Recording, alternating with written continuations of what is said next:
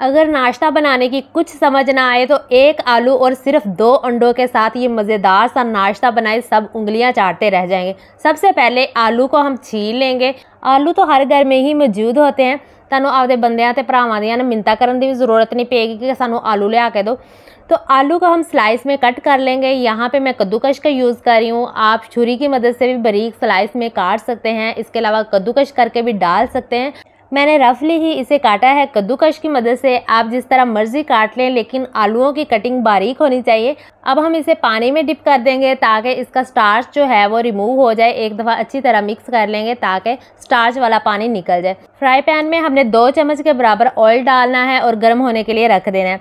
अब आलू ऐड करेंगे। इसका पानी मैंने निकाल दिया है। अब आलू के पीस एक एक करके ऐड करेंगे। ਵੈਸੇ ਆਪਾਂ ਔਰਤਾਂ ਵਿਚਾਰੀਆਂ ਦੁੱਖਾਂ ਦੇ ਮਾਰੀਆਂ ਜਦੋਂ ਕੁਝ ਵੀ ਸਮਝ नहीं आता ना तो आप आलू अंडे बना लेते हैं बनाने को मैं भी सादा तरीके से आलू अंडे बना सकती थी लेकिन मैंने डिफरेंट तरीका यूज़ किया है जिसका ना भी दिल करेगा खाने को वो भी लाजमी टेस्ट करेगा ये जितना मज़े का नाश्ता बनता है आलूओं को मैंने फ्राई होने के लिए रख दिया है। तब तक के लिए मैं प्याज काट लूँ, क्योंकि थोड़ा सा प्याज भी हमने ऐड करना है, लेकिन प्याज अच्छी तरह से चॉप करना है।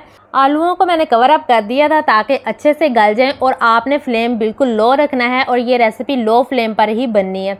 तो आलू हाफ़ कुक हो चुके हैं, हमने हाफ़ कुक ही करना है, उसके बाद चॉप किया हुआ प्याज ऐड कर देना है। प्याज के अलावा भी एक दो चीज़ें मज़ीद ऐड करनी है, लेकिन इस पॉइंट पे ऐड नहीं करनी, वो कब ऐड करनी है, थोड़ी देर में आपको पता चल जाएगा। प्याज को भी कुक होने देते हैं, तब तक बाकी चीज़ों की कटिंग कर लेते हैं। हाफ़ मैंने टमाटर लिया है, बारीक बारीक इसे चॉप कर लिया है, थोड़ी सी शिमला मिर्च ली है। हाफ़ से भी हाफ़ शिमला मिर्च ली है और बारीक बारीक कटिंग कर ली है। और एक अदद सब्ज़ मिर्च ली है। ये तीन चीज़ें मैं ऐड करूँगी। इसके अलावा सब्ज़ धनिया भी ऐड कर सकते हैं, लेकिन साड़ा धनिया अक्सर ही मुक्या होंगे वा। तो सब्ज़ धनिया हमारा मुक्का हुआ था दैट्स वाई हमने ऐड नहीं किया।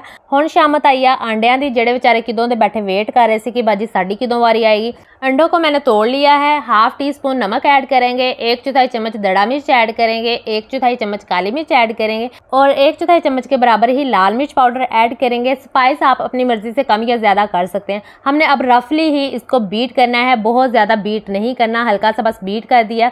अब कटा हुआ टमाटर ऐड किया, कटी हुई शिमला मिर्च ऐड की और कटी हुई सब्ज़ मिर्च ऐड की। भांडे चंगी तरह साफ़ कर लिया करो कि रह ना जाए जितनी महँगाई हो गई है, हर चीज़ ही बहुत प्रीशियस लगती है। तो इनको भी रफली ही हमने बीट कर लेना है। आलू और प्याज फुल कुक हो चुके थे तो मैंने उतार लिए थे। ये मिक्सचर ठंडा हो चुका है, फिर आपने अंडे के अंदर ऐड करना है। तो अंडे के अंदर सारा मिक्सचर ऐड करने के बाद इसको भी हल्का सा हम मिक्स कर लेंगे। मतलब रफली ही हमने मिक्स करना है।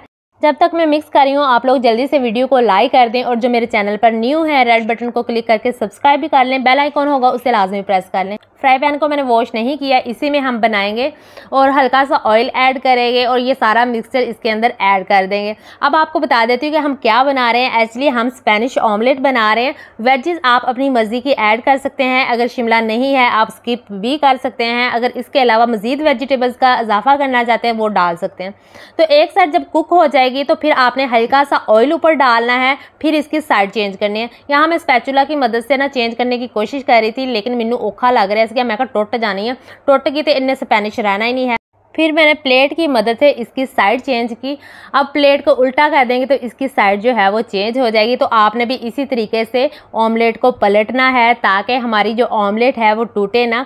और ये ऑमलेट दो तरीक़ों से खाई जाती है। अगर आप वैसे ही खाना चाहते हैं तो कैचअप के साथ बच्चों को वैसे भी दे सकते हैं। स्पाइस ज़रा कम ऐड कर लें, क्योंकि ये इतना मज़े का बनता है ना, वैसे दिल कर रहा होता है कि खा लें। अगर रोटी के साथ खाना चाहते हैं तो रोटी के साथ भी खा सकते हैं। ये हो, साथ थोड़ा सा अचार ले लें तो बहुत मज़ा आता है। तो आप इसकी फाइनल लुक देख सकते हैं। आलू जिस तरह से मैंने ऐड किए हैं, आपने भी फ्राई करके ही ऐड करने हैं ताकि कंप्लीट ये कुक होने चाहिए। कच्चे कच्चे आलू हो तो बिल्कुल भी मज़ा नहीं आएगा। इसकी कटिंग मैं पिज़्ज़े की तरह ही करूँगी।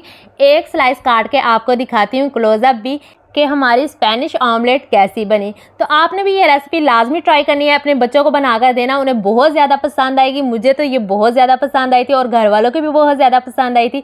और उम्मीद करती हूँ आपको भी ये रेसिपी बहुत ज़्यादा पसंद आई होगी। तो इस तरह की मजीद रेसिपीज़ देखने के लिए मेरे चैनल को सब्सक्राइब कर लें लाइक और शेयर भी किया करें। तो मिलेंगे नेक्स्ट रेसिपी के साथ। अल्लाह हाफिज़।